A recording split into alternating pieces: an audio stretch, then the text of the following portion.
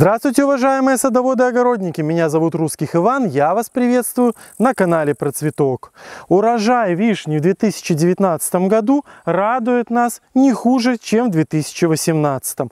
Ветки нагружены, вишни полны плодов, больших, крупных, сладких, налитых, очень вкусных.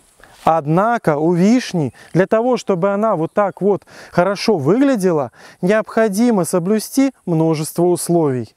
Конечно, а, отсутствие вот этой цикличности плодоношения многих плодовых растений, в том числе и вишни, может быть связано с хорошими подкормками. Есть и сорта без цикличности плодоношения, когда один год урожай большой, а потом несколько мало, а потом снова большой. Вот, однако же, благодаря тому, что мы ее хорошо покормили, кормили луночно-фосфорно-калийными удобрениями с добавлением азота весной и без добавления азота в прошлом году осенью, она и смогла сформировать вот такой урожай. В одном из роликов люди спрашивали, что же такое за шары с панбонда стоят у меня на участке. Это не что иное было, как защита вот этой вот вишенки и еще одной от э, посягательств птиц, от дроздов в первую очередь. Что ж, урожай у нас удался. В умеренной зоне, однако, у вишни есть один большой-большой враг. И этот враг называется кокомикоз. Кокомикоз очень широко повреждает косточковые растения плодовые в нашей умеренной зоне. Особенно кокомикоз разгуливается тогда, когда лето является дождливым или какие-то периоды лета являются дождливыми и холодными. Таким э, летом у нас характеризовался июль. И несмотря на все мои усилия, искореняющую обработку и подкормки и все остальное, после того, как я затянул в эти коконы э, эти вишни, я могу видеть на некоторых листочках, вот сейчас после снятия для уборки урожая, э, вот некоторые очень легкие, но все-таки проявления кокомикоза. Рассчитывать на то, что у вас кокомикоза не будет, если вокруг вас находятся заброшенные участки, где вишня уже давным-давно э, растет в полудиком состоянии, размножается порослью, э, рассевается сама, никто за ней не ухаживает, не обрезает, либо же соседи относятся к э, выращиванию вишни, ну, может быть, не, немножко небрежно, так что они не ухаживают тоже за вишнями, не обрабатывают вишни, то в этом случае, конечно же, инфекционный фон очень велик. Чем опасен кокомикоз? В первую очередь тем, что у него очень высокий уровень заражения всех деревьев вокруг. А кокомикозом страдает и слива, хотя в меньшей степени, чем вишня, и абрикос, и персик, и алыча даже, антипка особенно страдает, и черешня страдает. Конечно, есть сорта устойчивые к комикозу. Однако же они характеризуются, к сожалению, не очень высокими вкусовыми качествами и не очень хорошим плодоношением. Но все-таки они устойчивы. Войлочная вишня очень устойчива к кокомикозу. Но нам хочется, конечно, получать сорта вкусные, с крупными ягодами, налитые такие и без кокомикоза. Что же делать? Конечно же, надо делать обработки. Кокомикоз довольно-таки боится а, обработок с помощью медь препаратов. И уже сразу сразу после цветения необходимо, как и другие плодовые растения, как и яблони, груши, все остальное, других болезней, нет кокомикоза, семечковые не страдают от кокомикоза, обрабатывать. Однако же признаки кокомикоза могут появиться вот как у меня в тот момент, когда вишенки уже почти готовы или готовы к уборке. По таким вишням, конечно же, не хочется обрабатывать вообще никакими препаратами. Да, и не стоит, действительно. Первое, самое главное при борьбе с кокомикозом, это, конечно же, убирать вот эти опавшие листочки. Почему? Потому что именно на них кокомикоз перезимовывает, а весной вот под каждой, под каждой вот этой вот точечкой, вот здесь образуется, прям можно сказать, ложе из спор, такой бугорочек, из которого весной, как из вулкана, пепел, споры начинают разлетаться по всему вашему саду, заражая не только деревья на вашем участке, но и деревья соседей. Ну, у нас, конечно, нас смотрят садоводы в основном такие хозяйственные, которые все-таки обрабатывают деревья, поэтому скорее можно сказать, что эти споры от соседей летят на наши участки.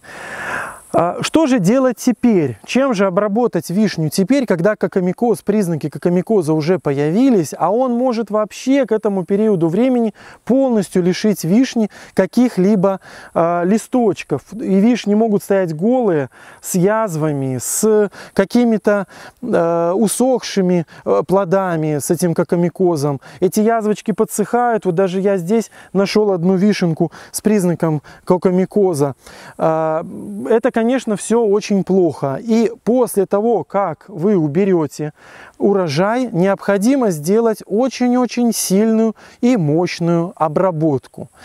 Существуют препараты разные, скор, абикопик, бордоская, препараты меди, другие препараты железного купороса. Я же вам предлагаю очень-очень эффективный, усиленный э, составной препарат, который в достаточной степени будет удерживать как распространение кокомикоза, который появился у вас, так и попадание кокомикоза сюда на эти листья э, с тем, чтобы сделать очень хорошую профилактику и лечение кокомикоза вот в этот вот период. Это, конечно, не отменяет необходимости убирать листья, однако же при применении этого способа, даже если листья у вас остались, какое-то количество листьев осталось под кроной, весной они не будут источником инфекции. Поэтому вы можете уже не так тщательно беспокоиться за уборку этих больных листьев. Ну а весну, конечно же, же надо начинать с искореняющей обработки,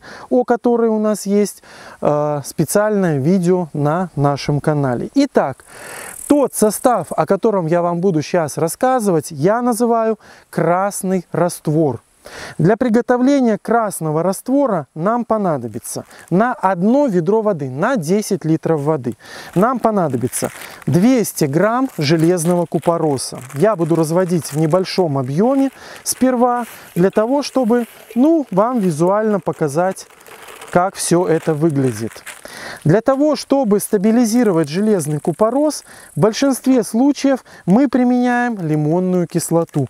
Нам понадобится примерно, ну такая неполная столовая ложка лимонной кислоты, для того, чтобы стабилизировать наш раствор. Размешиваем, и вы увидите, что раствор наш не делается рыжим, не делается ржавым. Он остается желто-зеленым. Значит, э, двухвалентное наше железо не разрушилось и все здесь хорошо. Следующим компонентом, очень важным, можно сказать, как и железо ключевым является салициловая кислота. Мне на 10 литров понадобится и вам 50 миллилитров двухпроцентного спиртового раствора салициловой кислоты. Продается в каждой аптеке. Итак, 50 миллилитров в одном флакончике 25 миллилитров. Вот я их сюда вливаю. После того, как вы вольете сюда салициловую кислоту, ваш раствор приобретет вот такую вот темно-бордовую красную окраску. Это и есть суть красного раствора. Вот именно в такой форме железо и салициловая кислота являются мощнейшими, просто мощнейшими э, способами, э, такими компонентами для уничтожения и профилактики кокомикоза. Конечно, этот состав на просвет кажется сейчас черным, но когда он разбавится в 10 литрах воды, он приобретет красивую, красную, я бы даже сказал, вишневую окраску. Brascom. Однако это еще не все.